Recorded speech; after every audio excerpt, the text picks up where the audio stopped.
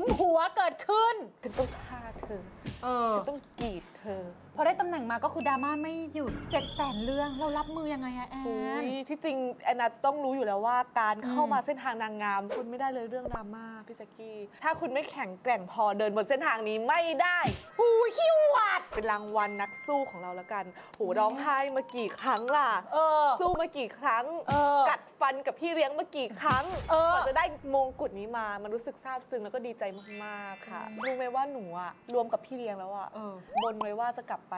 กี่สามที่สามสิบที่ ช่วยบอกผู้จัดการหนูหน่อยว่า ขอสองวันค่ะ ในการในการกลับไปแก้พี่ แจ๊กกี้พอแอนนาได้ปลดล็อกแอนนารู้สึกว่าเออชีวิตนี้แอนนา มีแค่ครั้งเดียวอะอืม แล้วแอนนารู้สึกโชคดีมากๆที่แอนนาได้รักตัวเอง อืม โชคดีมากที่เราไม่ยอมแพ้ก่อน อืม โชคดีมากที่ได้มาประกวดเวทีเนี้ยเออสุดท้ายเขาเห็นนามสกุลเราเสืองามเอี่ยม เออก็เลยเป็นแอนนาเสือละกัน แล้วบังเอิญมากปีนี้ปีประกวดเป็นปีเสืออม และแอนนาก็เกิดปีเสือด้วยอ๋อเหรอ เออก็เลยแบบเป็นแอนนาเสือละกัน เสือสองตัวอย่าทำเดียวกันไม่ได้หนูว่าแล้วเนี่ยแม่